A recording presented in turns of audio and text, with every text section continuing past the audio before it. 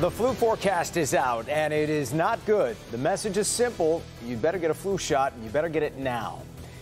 It's in good health today. We start there at 5:30. Just how bad will this year's flu season be? Well, it's a question no one can answer for sure, but experts say there are some ominous signs that have many really worried we could be in for a very severe year. Here's a look at what scientists are so concerned about.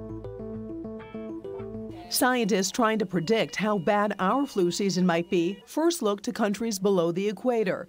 In the United States, we draw a lot of data from South America uh, because they hit their winter before we do.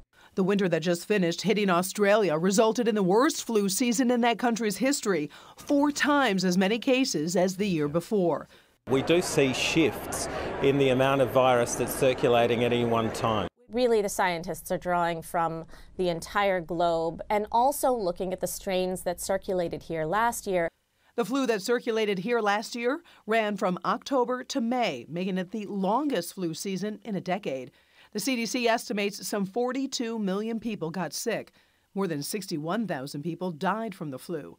Health experts are encouraging everyone to get vaccinated we recommend that everyone six months of age and older get it, and now and to the end of October is the best time to get it. A recent survey finds only about half of adults plan to get a flu shot, leaving the rest at greater risk. Even if they have no other problems, they can get really bad flu. They can get hospitalized. They can get really bad pneumonias. They can die. Anybody can die. Now, there are certain people who are even more at risk of being hospitalized, even more at risk of dying. And when you get your vaccination, you're protecting those individuals around you, those people who you come in contact with.